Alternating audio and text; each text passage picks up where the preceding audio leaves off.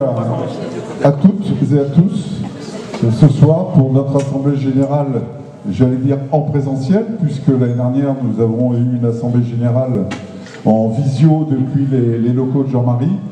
Euh, donc c'est souvenir, souvenir, mais des souvenirs qu'on espère ne pas revivre. Euh, je voudrais en votre nom accueillir euh, Pierre Durand, le maire sur qui nous fait l'immense plaisir d'être parmi nous ce soir.